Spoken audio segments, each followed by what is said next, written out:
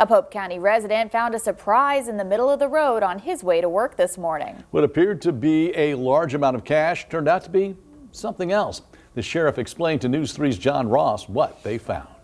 Pope County Sheriff Jerry Suits received a call Friday morning about dollar bills spread all over Eddyville Blacktop, just outside of Golconda. I responded along. I had a deputy. We responded out there. Uh, we started. We seen it. Started picking up bills. We had some people that, you know, that I know, local citizens. They they got out of their car, started helping. They couldn't believe it either. They couldn't believe someone left so much money just thrown across the roadway. It turns out the money wasn't legal tender. We found out pretty quick that it was uh, counterfeit uh, by the markings. Counterfeit or not, they made sure to collect each bill. We picked up, I wrote down here, 181 bills uh, totaling $1,324.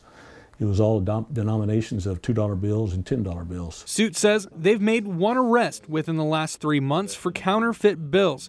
So they're not ignoring this paper trail. After we gathered gathered them all up, uh, I had my dispatch immediately start calling the businesses here in town. While these are clearly fake bills upon close inspection, Suit says they are almost identical to the bills that led to their last arrest. These here was almost identical.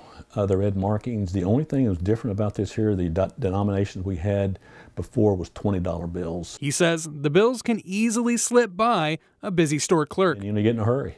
And when you get in a hurry, you know, you'll take one or two, and uh, you know, they get when they get where they're not uh, uh, busy, you know, they'll maybe be suspicious. They'll go back, and that's when I get a call. They'll say, you know, I, it didn't feel right, or or maybe it didn't look right, or maybe there's red markings. Suit's advice is to slow down and pay attention during cash transactions. He asks that anyone with information about the money found on the road give the sheriff's office a call. Reporting in Golconda, John Ross, News 3. And Sheriff Suits says the most recent arrest for counterfeiting in Pope County happened in October. A man was caught passing five fake $20 bills. He is still in custody in the Saline County Jail.